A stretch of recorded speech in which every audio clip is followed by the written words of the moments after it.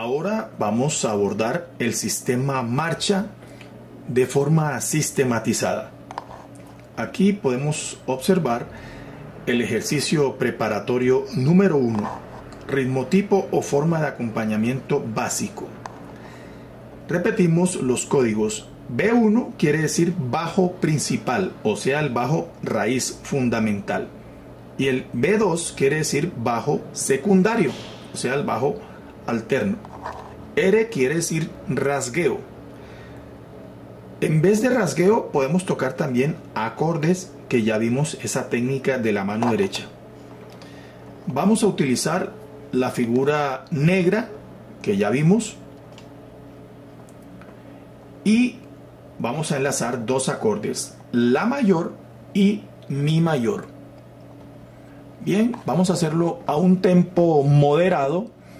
Vamos aquí donde dice Windows, buscamos la opción tempo y configuramos que nos quede en un promedio de 50 pulsaciones por minuto aproximadamente, ¿no? Pues vamos a escucharlo virtualmente.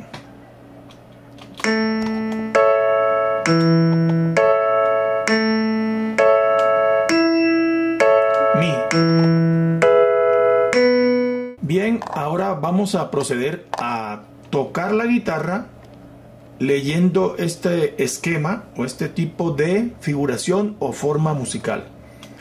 Estamos en la tonalidad de La mayor. Observen que en la armadura encontramos tres sostenidos. Tres sostenidos quiere decir que estamos en la tonalidad de La mayor. Vamos a enlazar dos acordes, en este caso La mayor y Mi mayor.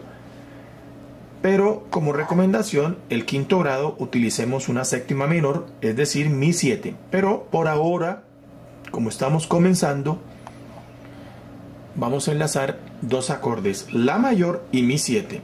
Empezamos.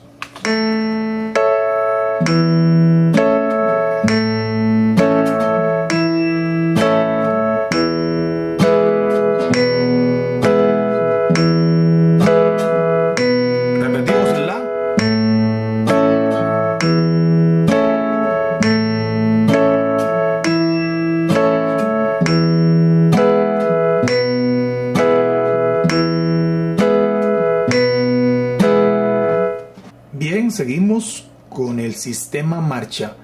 Aquí observamos un esquema, un ejercicio preparatorio, pero esta vez utilizando pares de corchea que ya vimos. Estamos en un compás de dos cuartos, que es el primer compás que se recomienda estudiar en la música, y vamos a tocar un ritmo tipo o un esquema de acompañamiento para el sistema marcha. Vamos a utilizar dos acordes.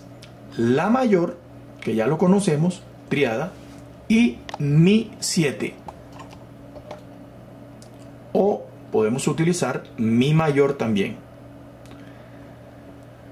Bien, entonces el ritmo tipo o forma de acompañamiento básico lo vamos a utilizar con la siguiente digitación que ya hemos visto. Los códigos B1 corresponde al bajo principal, B2 al bajo secundario y la letra R quiere decir rasgueo. En este caso también lo podemos tocar como si fuese un acorde, o sea, con los tres dedos hacia arriba. Bien, vamos a escucharlo primero de forma virtual y ahora procedemos a tocarlo con la guitarra para que ustedes repitan este ejercicio y logren dominarlo. Empezamos, dice.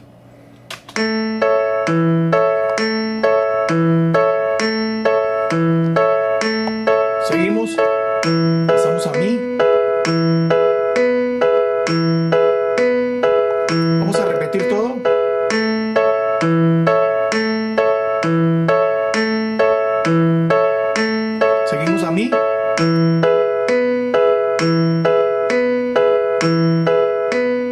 Y terminamos.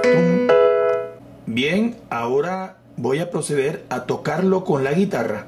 Obviamente el primer compás no me va a sonar porque estoy haciendo play y no me da tiempo de tocar las dos cosas. Bueno, empezamos y dice.